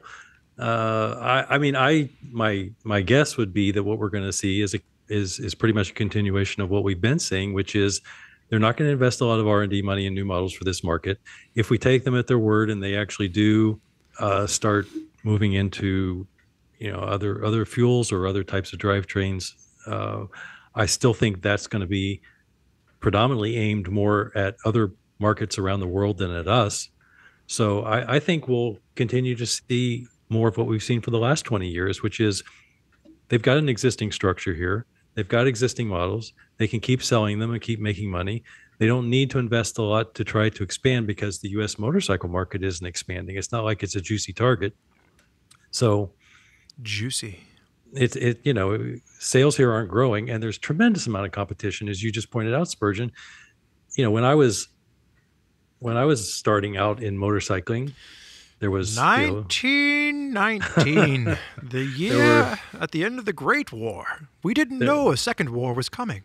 It was a little later than that, but uh, you know there was Harley Davidson and and the four Japanese motorcycle manufacturers, and that was pretty much you know that was mostly it. But look at how much more competition there is in the U.S. market today. You know, look at the strength of Ducati, which was negligible back then. Look at Triumph, which was going out of business back then.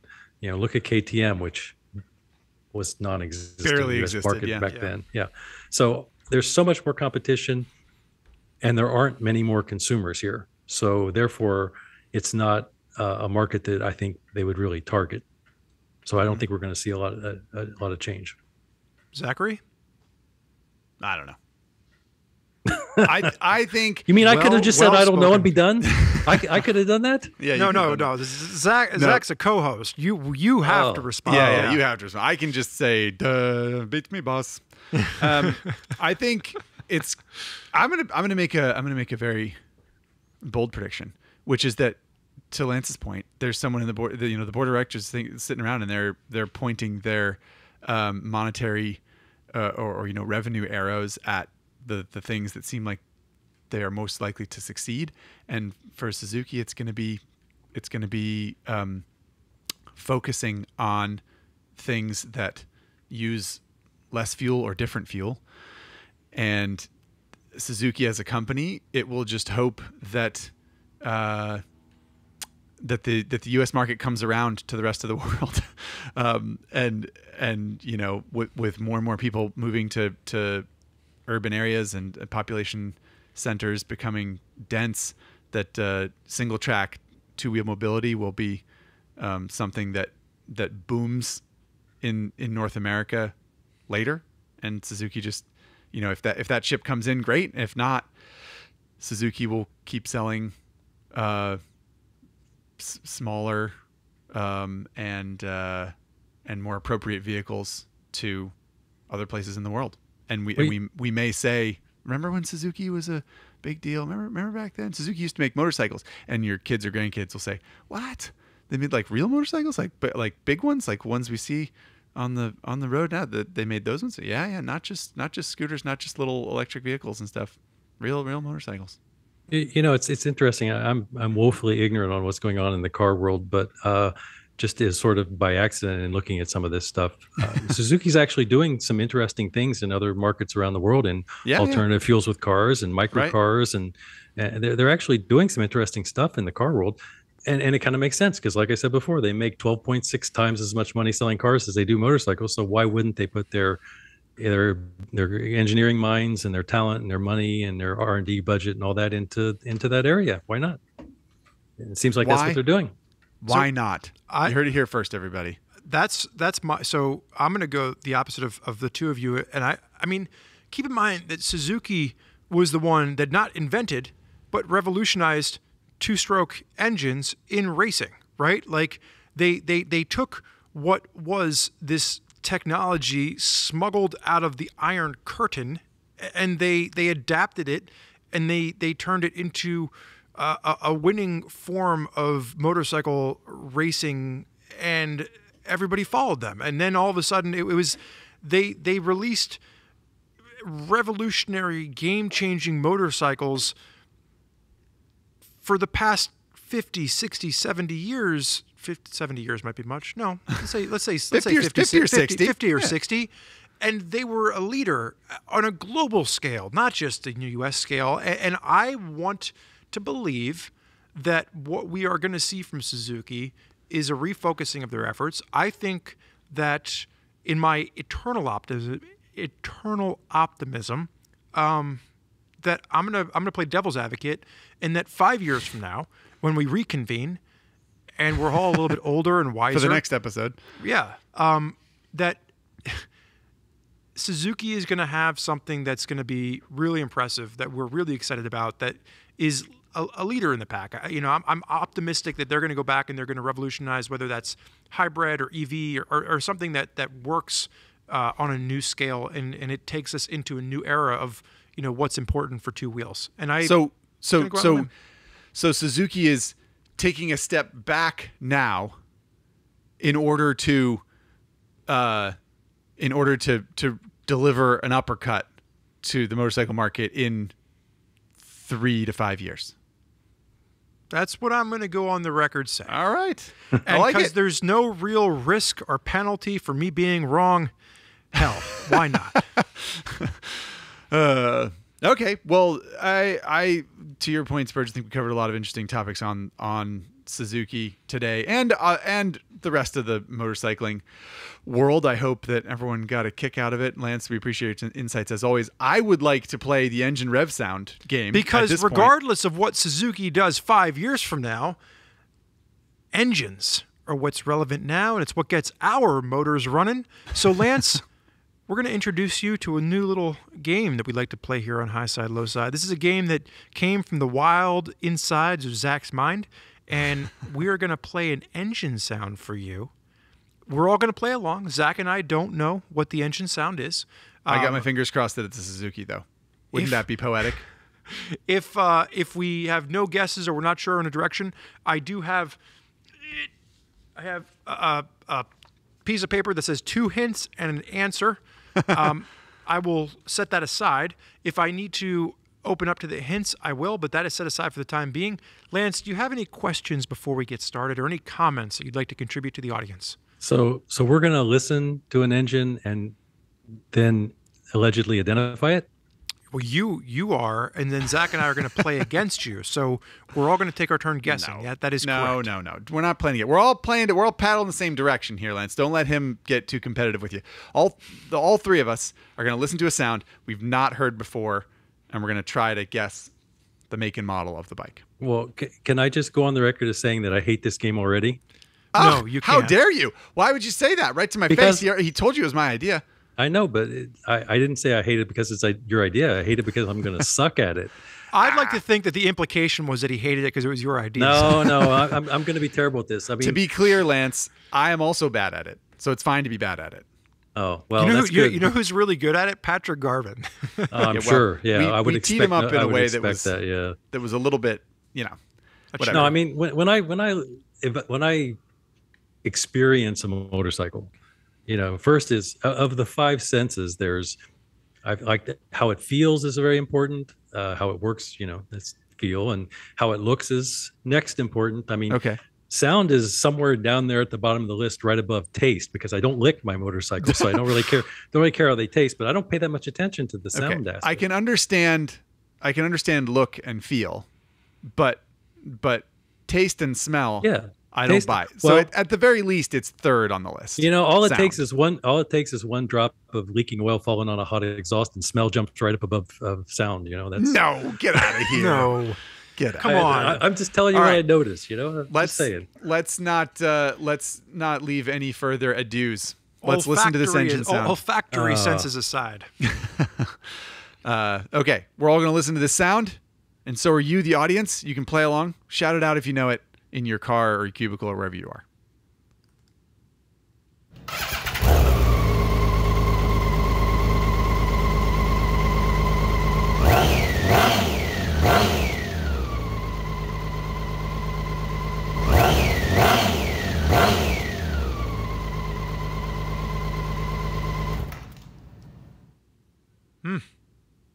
Hmm.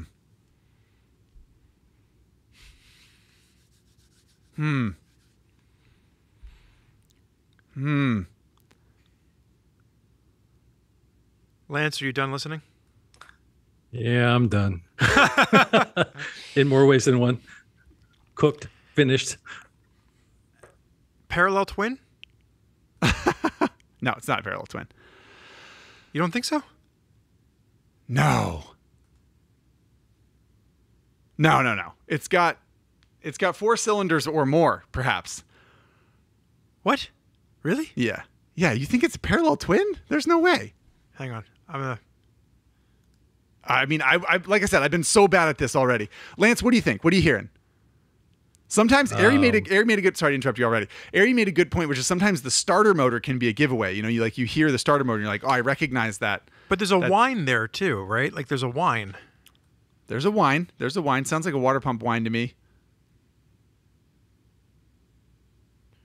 The the revs is. Oh, I thought I had it right away when it started, but then the revs. The revs getting me a little bit. I'm listening again. All right. Well, what do you, what do you think, Lance? What are you hearing? Any what, what's what's you you you? Engine think engine type. What engine type do we think we're working with, Lance? it's it's inline, right? It's not a parallel twin. It's got to be four cylinders or more, Spurge. I think it's got to be. Okay. Is that what you're hearing too, Lance? I'm gonna say it's a 1934 Crocker single, and the Stop exhaust it. valve is a little Stop loose. Stop it. Stop it. You're not a savant. How dare you? Also, if that engine's from 1934, it's been hiding somewhere. All right, let's. We got to make some guesses here. Do we want a hint before we make any guesses? I don't want a hint. I'm going to make a guess before I get a hint. All right. BMW K1600 inline six cylinder engine. Wow. Lance is shaking his head no for those of you listening. That that no means I have no clue. Um, All right, so the first hint, the What's first, the first hint, Spurge? Oh, the sound was sourced from Quaker City Motorsports here in Philadelphia. They sell BMW, Okay. Triumph, Ducati, and Royal Enfield. So it could be a BMW. So it is not a Ducati or a Royal Enfield. I I feel pretty I don't confident. think. is, I don't is, it- think. is everyone don't come along with me there? I don't think it sounds like a Ducati or a Royal Enfield. I think it could be a Triumph. yeah, I kind of thought it might be a Triumph. Really? I, Okay. I, I think What- it's a Triumph at this point. I'm Now- just now I'm hearing having that, heard I'm hearing that little in the idle. But that's a that's Triumph, man. That's a Triumph whine. yeah, that whine is a little triumphy. That's what I'm saying. that whine. Yeah, the water pump whine is very triumphy. But do you think that our producer Chase would give us two triples in a row? That Oh, seems good like point. Do you that think does seem doesn't- unlikely. I'm Yeah. sticking with BMW K1600. I I I think it's a triumph, man. You think it's I a Triumph? wanna- Okay, I- what- this what goes Triumph back to then? my- Is it a big goes back to triple my- then? It's a- no. It goes back to my parallel twin comment. I don't. I think it's a parallel twin. Like I, I want to say it's You- a Triumph parallel twin. I What? yeah, a I- Bonneville or something? You're nuts. I think maybe. Lance, anything from you? Anything at all? I'm going to say it's the Triumph Speed Triple. A speed triple. Yeah. Okay. So that's the So you- I big- would say it's the Street Triple, but it sounded a little. I don't know. For some reason, it sounded to me like it was bigger than Street Triple. I mean, Okay, it could well- be the 765. It could No. be, but I'm not sure. Because I'm thinking, because remember the, the Tiger, the Tiger 900 is, and, and the 1200 are now using that cross plane or the T plane crank thing. So it doesn't sound like that. It sounds more historical to me. Uh, But now I'm thinking maybe our producer Chase got a used bike and this is an older model and not a new one. yeah, who knows? if it's a used model, I'm gonna listen- it's I'm a gonna listen used one more time. BMW K bike. What's the next hint? It's a, it's a Triumph triple. Lance is right. Honestly, Okay, it's a Triumph give us- triple. all right. So the, the, the final hint is Okay. Spurgeon just used a very bad word, and we apologize to your younger listeners, but I assume that means I'm right. straight six engine. Straight six Oh. BMW K1600. I'm telling you that uh, I heard a little bit of the starter motor that I recognized, and then that the, the way that it idles, that like uh, kind of slightly lumpy. It's like it's a buttery smooth engine, that engine, but it's got that uh, the thing in the fuel injection or the idle. I don't know, but it goes yeah, So it kind of has a I'm gonna make a point that Zack picked this before we gave out the first hint, right? So the answer, Zack, you know, when we first when we Lance for your edification, when we first started talking about doing this game, Lance uh, or Zack rather was very excited about it, and I had a conversation with our producer Spencer. Uh, who, who's been on the podcast a couple times, and he produces some of the video content here. And he's like, "Man, He's like, you have to understand, Zack is really good at engine sounds.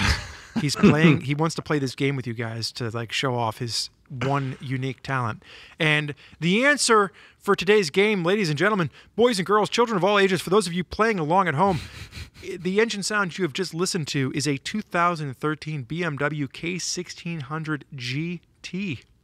And we want to say special thank you to Mike over at Quaker City Motorsports for helping us play this game.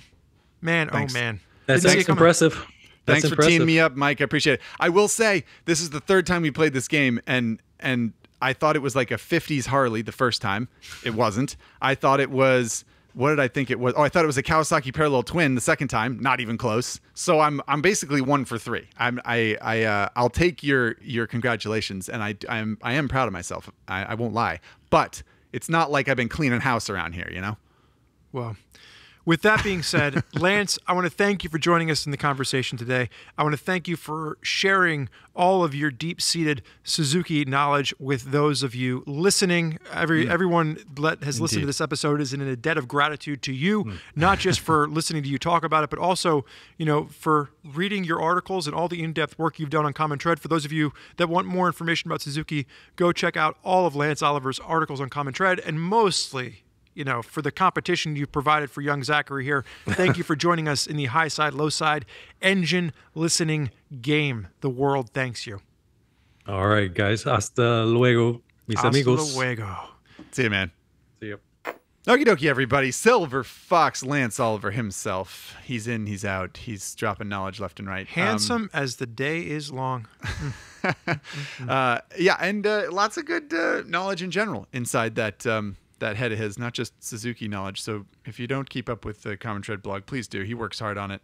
Uh, the rest of us don't work as hard, but we do work hard on it as well. So um, there's uh, those stories that we referenced are are um, good little pods of information for all the stuff we talked about.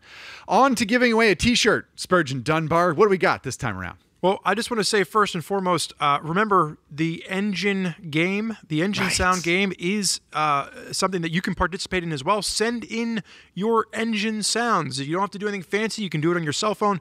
Make sure, like Mike did from Quaker City Motorsports, that you get a, an idling sound, a few good revs, an idling sound, and it, it should be at least you know 30 seconds long, so our producer Chase can you know deem what's important there. Startup, little bit of idling, few revs, shut off. Pretty basic. There you go. Pretty go. basic. And you can be like Mike and you can win yourself a high side, low side t shirt. That way, uh, Mike will be getting a fancy new t shirt in the mail. Uh, all he has to do is shoot us an email to high side, low side at revzilla.com and he can claim his t shirt, much like the upcoming Apple podcast review winner, D Pelt 73. We ask that all of you out there send in your reviews to Apple Podcasts, subscribe, listen, and watch. But it does help when you leave us a review. So D Pelt 73 is our winner for this. Do you want to say D- something to Deep. Well, I was, I was gonna I was gonna pick it up and read. Is it okay if I read the? Oh, yes, by all story? means. Deep Pelt- oh, yeah, Deep go for it. Deep Pelt 73 is winning a t-shirt for very creative use of an Apple podcast review. Deep Pelt told a story, which I will now read to you, um, and hopefully you're as entertained as we were. Deep Pelt says, I was grocery shopping at my local grocery store. Good place to grocery shop, by the way. Wearing my high side, low side t-shirt when another shopper came up to me and said, quote, Hey, you listen to them? We ended up hitting it off and walked out to the parking lot. He ended up having his multistrada parked next to my K1600 GTL. We admired each other's motorcycles and, and have been best friends ever since. Love to hear it. You love to hear it. The final line of Dpelt 73's review is, and then I woke up.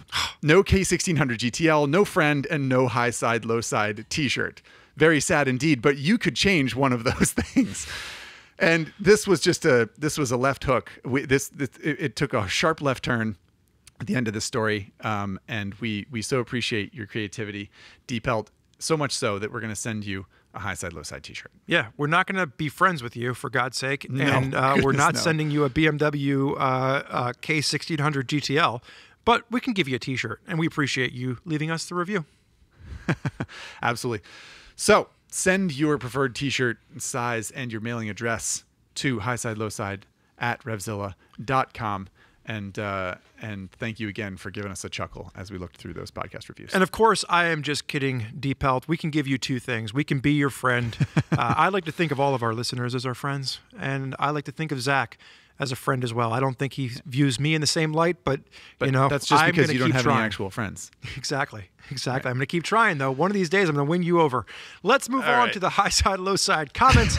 and we've got a few for the day. First comment came in from Casey, who sent us an email and said, I've been riding for a couple years, but outside of changing oil, cleaning my chain, I don't really feel comfortable tinkering with my 2019 BMW F850 GS just yet. Nice bike, Casey. Give you a little shout out there. He says, or she says, Casey could be a boy or a girl.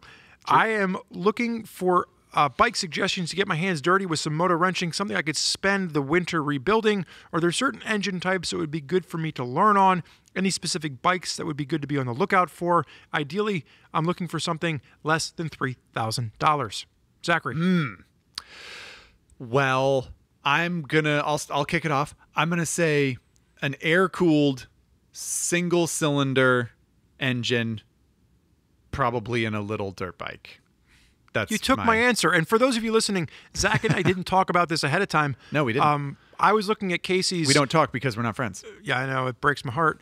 Um, I was looking at Casey's uh, 2019 BMW F850 GS, and I'm thinking this individual likes to ride adventure bikes. They'd probably enjoy getting out and riding something a little bit dirtier than an adventure bike. And why not get a little used DR 200 250 something that they could you know turn around and maybe rebuild and learn how to put you know a, a, a new battery in or a, you know maybe rebuild the forks or Right. cut a chain off and put a new chain on Ah, Yeah. so much you could do Yeah, exactly. So, um, to expand on the, that suggestion a little bit, if a little dirt bike, we say little dirt bike, you could get a TTR 125, you know, like a basically a kid's bike if you want to sort of take it to a local OHV park or a parking lot and learn how to do wheelies and slide around and, um, you know, sort of train on a tiny little motorcycle. If that's what you want to do, that's not a bad idea. And those bikes are fairly easy to work on. Uh, anything in that in that realm, like a little uh, um, little Japanese dirt bike with an air cooled single cylinder engine. Uh, or you could take it to the other end of the spectrum. You could get a, a, a Honda XR650, right? Uh, you know, the a full size dirt bike or a Suzuki DR650. Um, and uh, you'd have an air cooled single, but you'd also have a bike you could trot down the trot down the highway for a few exits and use it as an off-road training tool. You could use it. It would be a smaller version of your of your uh, BMW adventure bike in some ways, but it'd be easy to work on, and it would be you know for less than three thousand bucks, it's going to be kind of clapped out, and um, you know you're going to want to put new tires on it and and uh, and fiddle with some stuff like that. But I think that I think that's a, a reasonable thing to suggest. And Casey, I'm going to point you in the direction of an article I wrote years ago, uh, and there was an accompanying video with it, but it was called "The Terrifically Fun Tale of the Thousand Dollar Adventure Bike," and it it uh, is a, an article I wrote about buying a Suzuki DR Z 250 and basically taking it out and doing a bunch of crazy uh, dual sports and adventure rides and things with it. And at the time, that bike was roughly a thousand dollars. Now I think with the way the market is, you'd probably be getting closer to two to three thousand dollars for a bike like that. But there was no shortage of opportunities uh, to learn how to fix that bike up.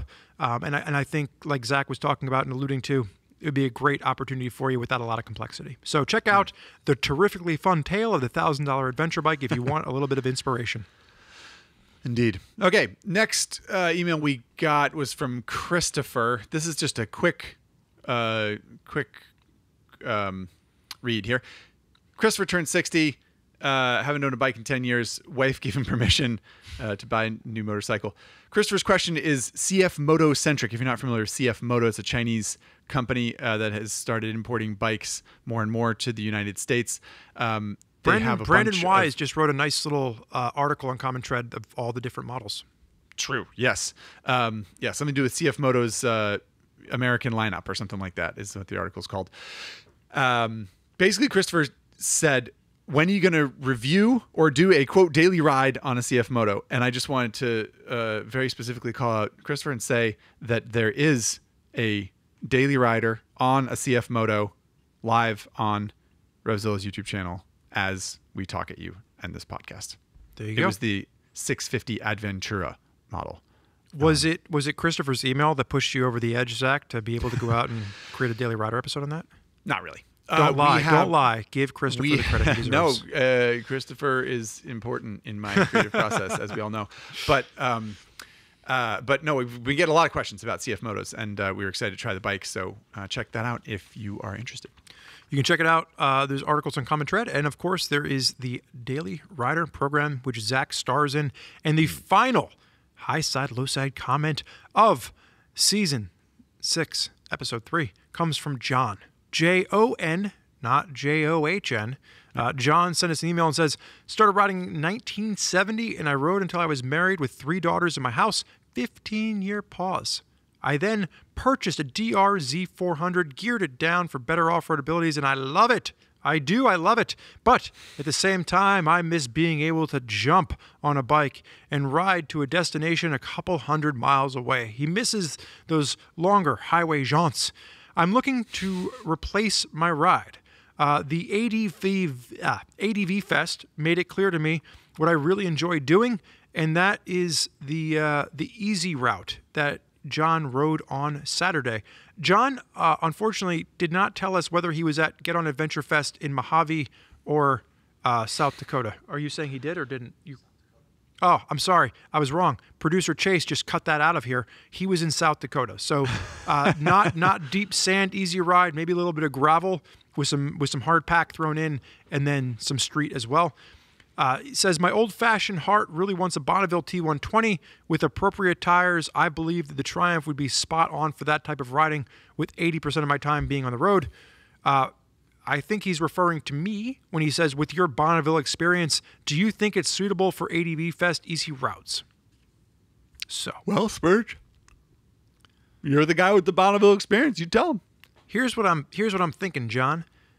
If it was me and I already had a Bonneville in the garage, which I do, uh, I would I would you know throw a set of knobbier tires on there, and I think it would be perfectly appropriate for the easy route, um, especially with a set of higher handlebars. However, John, you don't already own a Bonneville. You're not like me.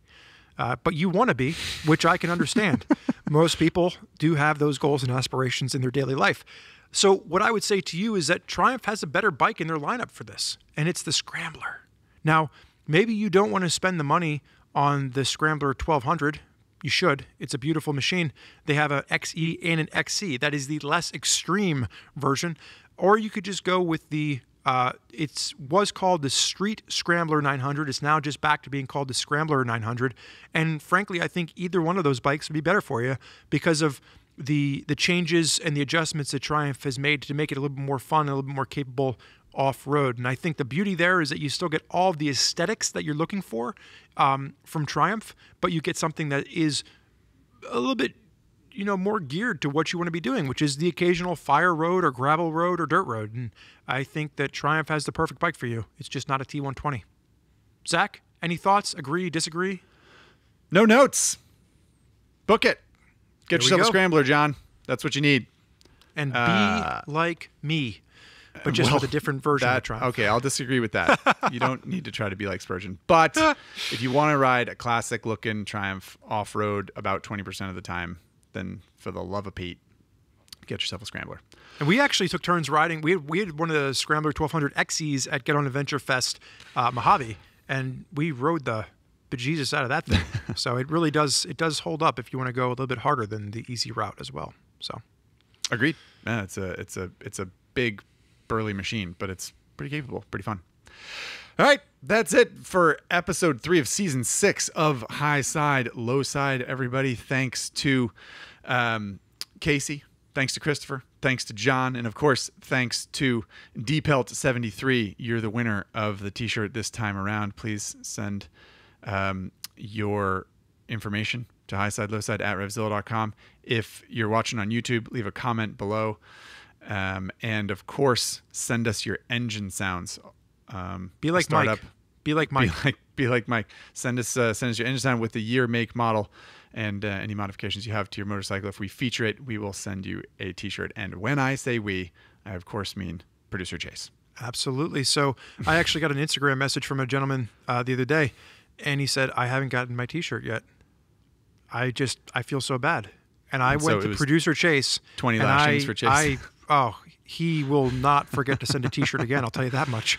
I mean, we can't have him on camera right now because the bruises haven't healed, and that's an HR violation if I've ever seen one. But we like to, for those of you new, uh, getting back on topic here, uh, to High Side, Low Side Season 6, we like to round things out at the end. We like to give a, a, a, synopsis, a brief summary of what you've learned here with the hopes that you, you take it with you. So, Zack, what have you learned today? Anything anything new for you? My big takeaway for episode three, season six of High Side, Low Side is let's remember to think outside the sphere of what we normally do in the world of motorcycling, right? It's so easy to think that what you do is the most important piece because that's the news you follow, that's the people you're interested. All that stuff is what we find ourselves drawn to, right? I'm a big MotoGP fan, so it's easier for me to get this myopic, um, you know, kind of uh, uh, blinded view of what's important in the world of motorcycles because I watch MotoGP and I think, oh, that's all that matters. But Lance makes a darn good point. There's lots of other stuff going on, and Suzuki is a successful company outside of what we normally see here in the United States and what we often talk about on high side, low side. So, so just remember that. Remember to think, think outside uh, uh, what's going on, and and uh, and subvert your own expectations and look for stories somewhere else, and um, and uh, maybe maybe the story you've been hearing or reading isn't the whole story. So if I'm if I'm understanding you correctly, you're saying that high side low side is the most important thing in motorcycling because we are looking beyond the box of our own personal purviews. So in a I'm, way, I'm, if you listen to high side low side, you are paying attention to the most important thing in motorcycling, which is you and I, Zack. Is that what you're trying to get at?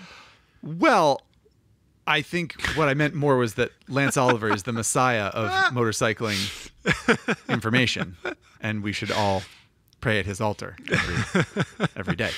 And on but yeah, what you note, said is, you know, yeah. hopefully, we have entertained you. If not educated, hopefully, we have entertained you, which is really our ultimate goal here at the High Side, Low Side podcast. And with that, we have got nothing left in the tank for you today. But we do ask that you subscribe to High Side, Low Side, wherever you get your podcasts, so that you can keep up with episode four as soon as it hits the airwaves, probably within two weeks of you listening to this one. So for now, I'm going to go ahead and, on behalf of Zachary and myself, I'm going to bid you adieu and uh, I'm going to ask you to enjoy the ride. See everybody.